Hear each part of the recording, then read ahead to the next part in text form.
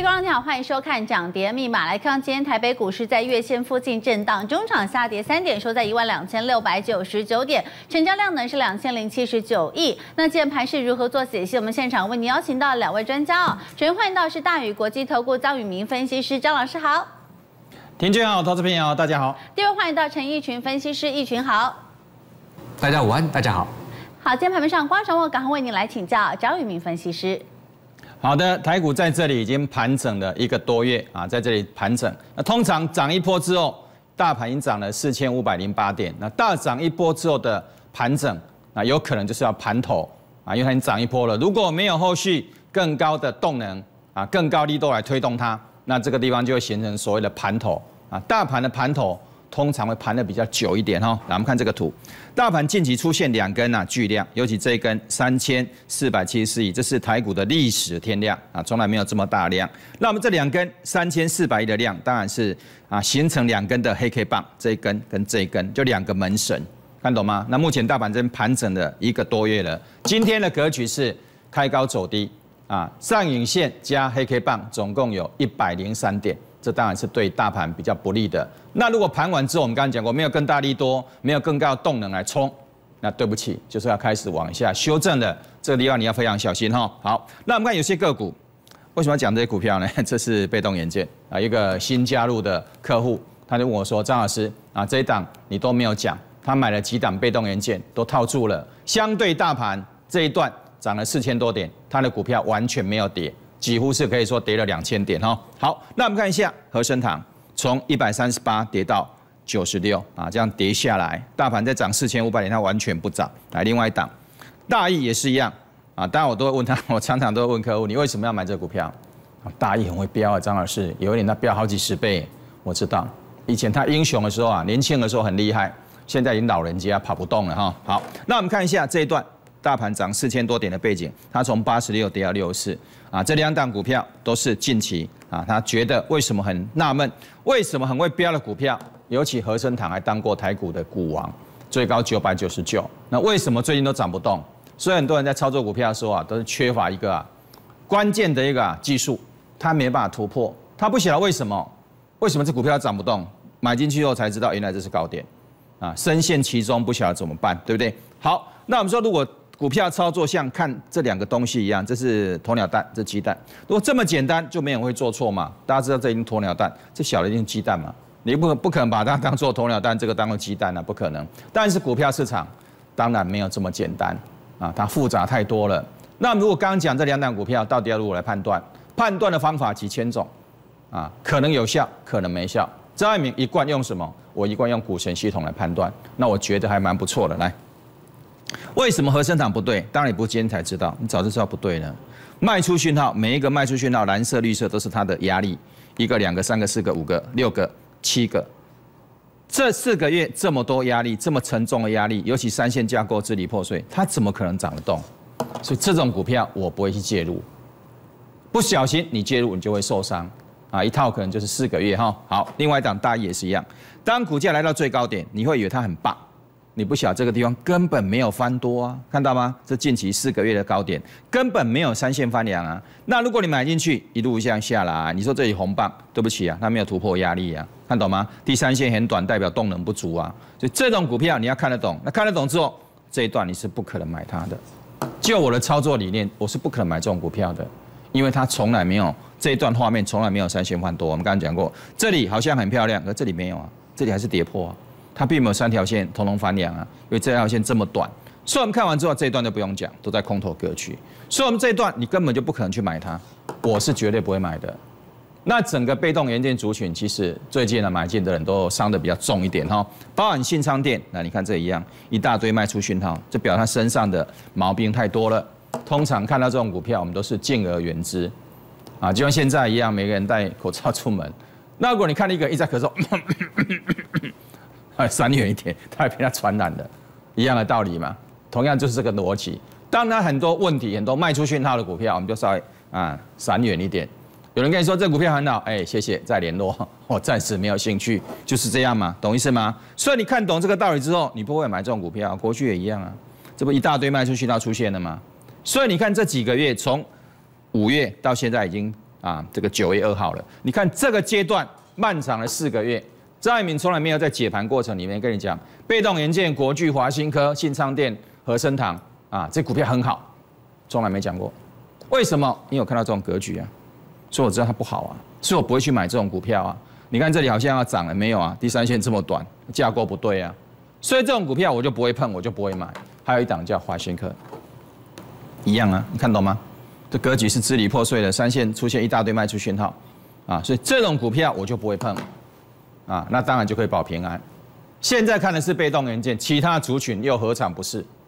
如果出现这种架构，我们就对不起，再联络啊，给你做很好哦，谢谢，再联络，你自己去买就好，我没兴趣。啊，万一买进去就套在里面，动弹不得，对不对？那就惨了哈。好，那我们看另外这档股票叫元展哦，这里大概四十块，今天是一百四十六。那如果买到这种股票，天哪，那多爽啊！那如果买到这种股票，不是每天都很难过吗？晚上都睡不着了，对不对？那如果买到这种股票，多开心呢？所以股票要怎么挑？答案不就出来了吗？一个鸵鸟蛋那么大，一个鸡蛋那么小，你要挑哪一个？如果同样都是三块钱，你要当然挑鸵鸟蛋了。三块这么大，对，它是鸡蛋这么小，啊，假设它们的营养成分都一样，所以这是一个很简单的道理。所以我们看这股票有没有卖出去呢？没有啊。三线架构我们很漂亮，有啊。你再看刚刚的，这有很漂亮吗？没有啊。这个有吗？没有啊。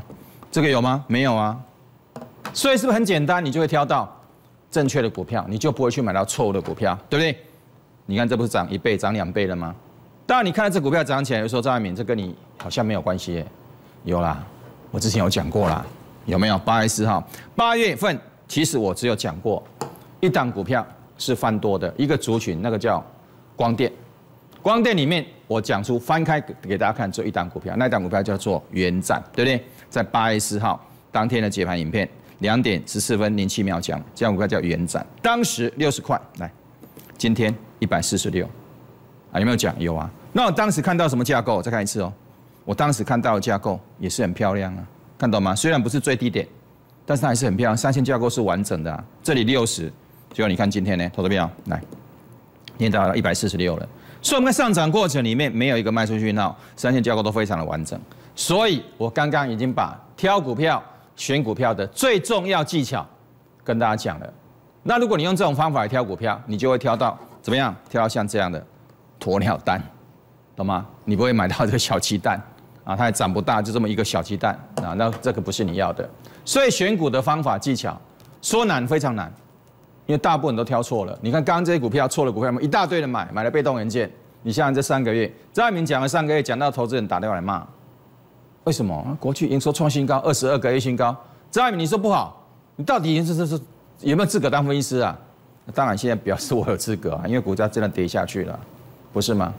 啊，那投资朋友很会认为一个错误的观念，把它当做圣旨，啊，好像这个学生啊，这个很会很会考试的学生，他就是一定将来要当总统的，也不一定啊，不是吗？啊，他考试很好，那个品德就很好，考试跟品德没有没有关系啊。很多高智慧的犯罪，头脑比谁都好，那做犯罪啊，不 是吧？所以营收创新高，股价就一定会涨吗？当然不是啊，谁跟你讲是的？张爱民上电视解盘超过二十年了，我从来没有讲过这种话。营收创新高，股价就一定会涨，从来没有这种事啊，不是吗？那如果会，今天国巨、华新科，它就不可能跌成这样嘛？啊，国巨、华新科营收创二十个 A 新高，二十二个 A 新高，为什么股价一样跌破半年低点？所以这个道理很简单，你不要以为营收创新高，股价就会涨，这根本就是两回事。这样懂意思了吗？好不好？来，所以我们说股市赢家操作就一定要有依据，你没有依据，你用错误的依据，当然你就是成为股市里面的输家。啊，股票没有那么单纯了，啊，看一个报纸营收创新高，然后买就会赚钱，啊，如果这样没有人要上班的啦，摄影棚也不会有人了，大家都看营收创新高，赶快去买，那赚大钱，对不对？那摄影棚谁要来当摄影师，谁要当主持人，就没有人了嘛，大家买到营收创新高就好了，不可能，啊，不要那么单纯，好不好？我们再从成交指排行榜来做一个切入，你看这些股票都什么？来，台积电半导体嘛，这个 IC 设计龙头联发科啊，PCB 光学。PCB 啊，这个 IC 设计、光学啊，这个电脑对不对？好，元展，我们刚刚讲光电族群，四星啊，又是 IC 设计啊，上尾头啊，做做风电的啊，又是 PCB 啊，面板、被动元件。所以你看到这些成交值排行榜最前面的股票，有量有价的股票，请问都什么族群？那就是固定那些族群啊，哪些？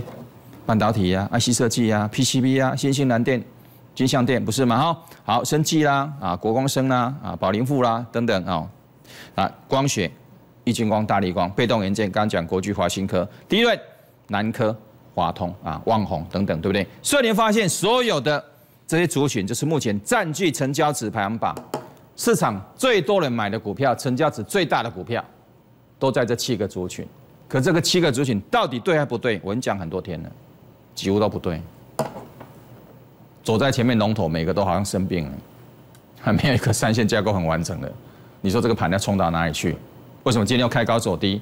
上影线加黑 K 棒一百零二点，答案很简单嘛，懂意思吗？哈，好，这是孔子在《论语泰伯篇》讲的：“为邦不入，乱邦不居。”啊，你要把这话记起来，这非常非常有道理。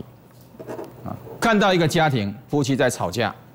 啊，兄弟在拿刀啊互砍，有时候啊，因为一个选举理念不同，一个民进党，一个国民党，两个就打起来了，打到牙齿都断了。啊，那这时候很简单，如果你跟他非常非常非常好，劝个架，但小心，搞不好你会被打到。那如果你跟他不是很好，普通的关系而已，看到人家打架，本来要去拜访他，哎呦，赶快跑，你你进去干嘛？进去他也被刺一刀，两个人吵起来了，对不对？所以这时候人家在乱了。啊，有些人要去旅游也是一样，你要到一个国家旅游，这个国家霍乱又是内战，你你进去干嘛？带被子弹打到给谁？是不是？所以孔子，你看几千年讲，几千年前讲的话都有道理。为邦不入，乱邦不居，告诉我们不要去凑热闹啊！这个国家太乱，这个家庭在乱，我们不要去去啊，跟他混在一起，他会倒霉啊！这明哲保身。那做股票也是一样的道理，卖出去那一大堆的，对不起，这股票我不要，就这么简单嘛。如果你有这个观念，为邦不入，乱邦不居，所有那些被动元件股票，你根本不会买，懂意思吗？你会买国区吗？你买华新科吗？都不对，一大堆卖出讯号了，你不会去买那种股票的，好不好？好，所以我们就很简单了，两个蛋你会不会挑？当然会啊，这鸵鸟蛋，这鸡蛋，所以你不可能挑这一颗，你挑这一颗嘛，对不对？好，延展哦，涨三倍，涨两倍来，三线线很漂亮哦，你看这线型都很漂亮，没有卖出讯号，三线架构很完整哦，来，大力光呢？卖出讯号一大堆，三线转空了。你买这种股票干嘛？玉金光早就出现卖出讯号了。张爱民出现第二天就跟你提醒了。你看到现在一个多月了，涨不动。你买进去卡在里面，动弹不得，不是吗？你买进去会赚钱吗？好像赚不到，对不对？这一段会不会会有？这一段会有。这一段对不起，没有钱赚了，因为卖出讯号已经出现了。看懂吗？所以股票就是这样买而已嘛，不是这样吗？哪一档不是？热印前面一段涨十三倍，啊，对不起，为什么现在都涨不动？你看，从六月开始，六月初、七月、八月到现在九月，你告诉我有涨吗？你买进去不会套牢赔钱吗？为什么卖出去那一大堆吗？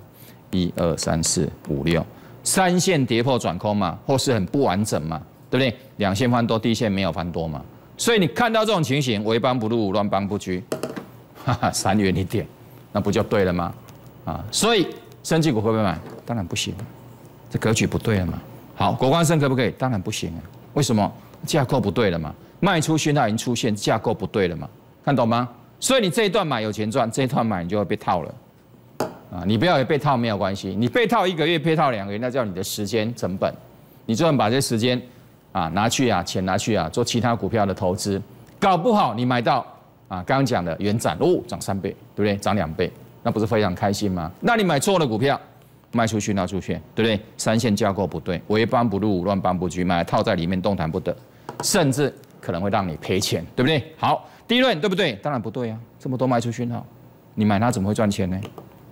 万红对不对？当然不对啊！你看前天打破半年低点，一大堆卖出去那怎么买？所以张爱民这几个月有没有跟你讲第一轮好？绝对不会。原因什么？卖出去那一大堆，我怎么跟你讲好？这是个道理嘛？哦，那这个就好了，懂吗？那这个呢？那这个就不好啊，懂意思吗？这个我有没有讲？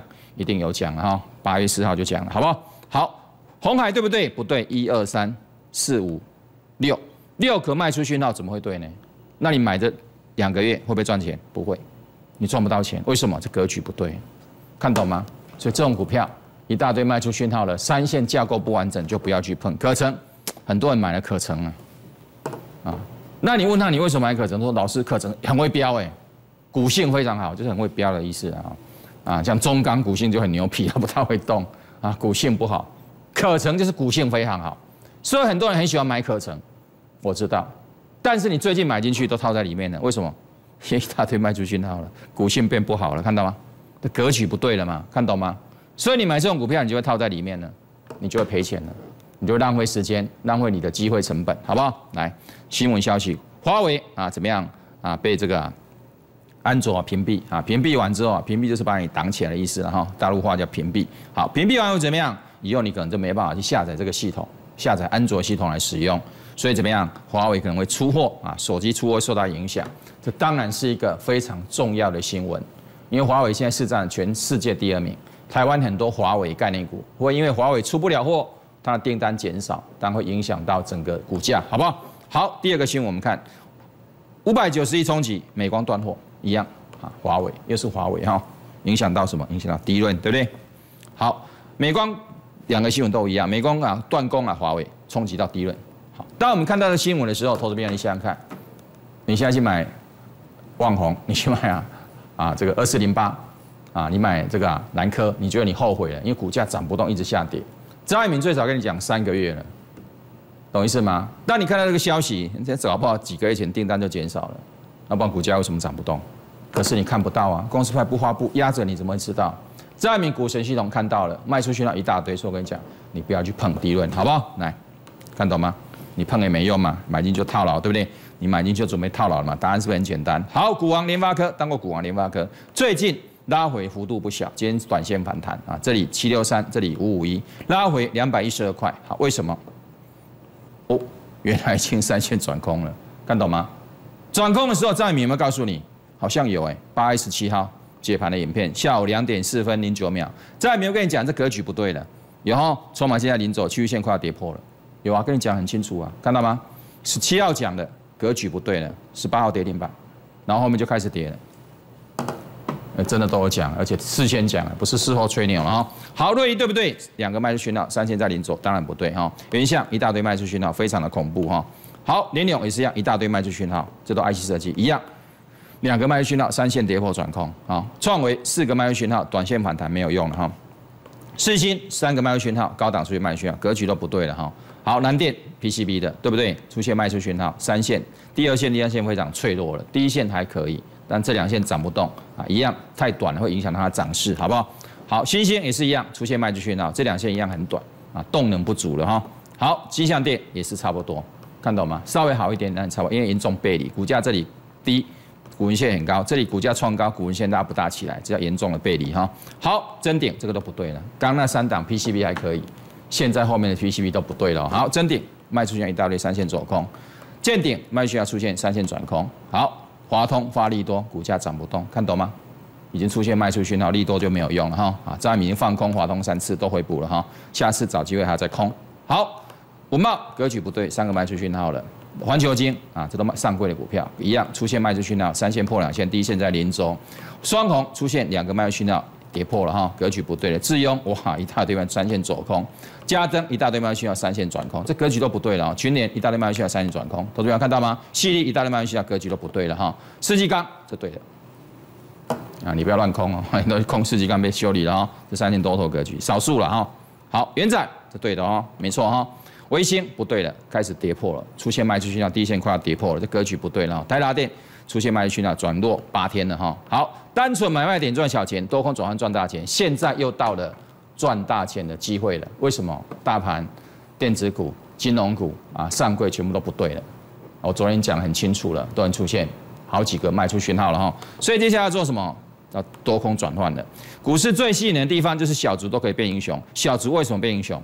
因为在多空转换点，他做对动作，他就有机会变英雄，懂意思吗？哈，好。东升粉丝拿你手机来扫描这 QR code，扫描说你是东升粉丝，并且留下姓名跟电话，有任何问题一并留下来，张一鸣会尽快跟你联系。我们先把时间交给婷娟。好，那更多的超推荐广来继续再请张一鸣老师帮大家做解析。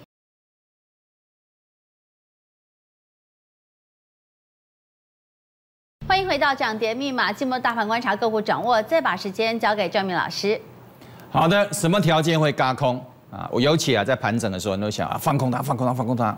可是你不要乱空，你乱空会被修理的哈。我们看什么条件会嘎空？两个条件，第一个融券余额非常高啊，不是融资哦，是融券空单的余额哈。第二个券资比很高，那这个资料可以查得到，叫融券余额，看到吗？目前最高的这个乱七八糟不讲了哈，来金相店对不对？新兴哦 PCB 嘛哦，还有什么群创，还有呢，还有蓝电都是 PCB 的，还有什么世纪钢、国光生啊、生技啊，这个世纪钢对不对？好，那哪些股票可以空？哪些股票不能空？啊，不是光空单很高，不是从券资比很高它就可以空，不是。还有什么条件？注意听，我要跟你讲什么哈？来，世纪钢对不对？对呀。三线架构对不对？对啊，趋势翻扬，筹码定动能充沛，它对的，所以你不能空它，你空会被修理的哈。好，群创呢？群创日线对，有背离哈，因为这里创新高啊，股价创新高，这里没有创新高，有背离啊，有背离，它走势不会很强。周线不大对，为什么？门口还有压力，我有跟你讲过了，所以它的高空力道就不强。虽然前几天出现一百零八万张，可你看最近走势有没有很强？没有哈，为什么？没有很强，因为格局不是很漂亮了哈。好，这个配合就是这个道理。啊，在米股市第六百册里面有讲到这个道理哈。好，蓝电呢，这段很多人放空，被嘎了哇哇叫，嘎了一倍以上。目前呢，出现一个卖出讯号。第一条有没有跌破？没有。收盘线动线比较弱啊，动线比较弱怎么样？表示啊，车子没有油，它可能要休息，但它没有转空哦，只是卖出讯号出现而已哈，要整理而已，好不好？新鲜格局一样，一样两线比较弱一点啊，但曲线还没有跌破哈。好，吉祥电也是一样，三线的格局怎么样？当然比较短。有比较严重的背离哈，但它没有跌破，好不好？好，今天呢？对不起，这个嘎不了空啊！你看一个月前高点在这里，有没有办法嘎空？不但没办法打下来，因为它趋势跌破了，三线架构不对了，变成空头格局了，它嘎不了空。所以什么条件不能嘎空？三线架构不对，卖出现要出现，那就有可能嘎不了空了哈。好，所以我们说有些股票是不对的，像什么？好像康纳香，对不对？像什么啊？还有什么啊？我们看一下股票后面有来，康纳香有没有嘎空？没有，为什么？盘几个月了，一大堆卖出去，那怎么嘎空？三线架构不对，怎么嘎空？所以龙卷很高也没有用啊，这样懂意思吗？三线架构只要不对，对不起，它嘎不了空。还有吗？来，郭光生，格局对吗？不对啊，卖出去要一对，嘎不了空哈，好不好？好，股票上涨一定要符合这三个条件：趋势翻扬、筹码定、动能充沛。这三个条件没有吻合，对不起，嘎不了空，好不好？G S，我昨天跟大家讲，这条线怎么样？很危险。看到吗？昨天还很漂亮的这条线怎么？今天就差一点跌破，在零轴附近了，有没有？好，那我们再看 G S 这里给它模拟分析。那模拟分析完，你会发现怎么样？这格局是不对的，看懂吗？啊，所以曲线上不去了哦。立三也是一样，给它模拟分析，它是上不去的，所以这比较危险，好不好？这个都比较危险的，好不好？来，技嘉高档所以卖需要格局不对的。来，这个呢，景德这涨不动啊，你买它不对了，看懂吗？这个一样，为什么智邦景德景德涨不动？哦，你怎么买这种股票呢？哦，看到了吗？啊，说起来很简单呢，可是你要把它突破这个缺口很难，很多人不会乱买。那你买这种股票它怎么涨啊？你告诉我它怎么涨？当然是套在里面啊，都一卖出去一大堆嘛啊！单纯买电赚小钱，多空转换赚大钱。现在又到了多空转换时刻，小卒要开始变英雄了哈！好，投资朋友，你可以拿你手机来扫描这 QR code，扫描完说你是东升粉丝，并且留下姓名跟电话。有任何的问题，都可以在我们那里面发问。老师，我买这股票买多少钱？就像刚刚讲的股票，你买了智邦，你买了景德，你买很多啊莫名其妙的股票都涨不动，买了被动元件，为什么它涨不动？张老师，你可以传个股神图给我做参考吗？可以的，啊，张爱民会最快速度跟你解读，啊，或许这个就会有一天会打通你的任督二脉，你去对照一下，哎，报纸发力多，那股神系统怎么出现？卖出讯号，而且前面一大堆卖出讯号，你就知道你不能买了，啊，那你买进去，对不起，套牢赔钱，啊，所以我们很需要啊，做一个好朋友，有任何问题啊，可以发讯息进来就可以，我们把时间交给庭娟。好，非常感谢来宾的分享。提醒观众朋友了，本公司与所推荐分析师个别有价证券无不当之财务利益关系。本节目资料仅供参考，投资人应该独立判断、审慎评估，并且自负投资风险。也祝您操作顺利。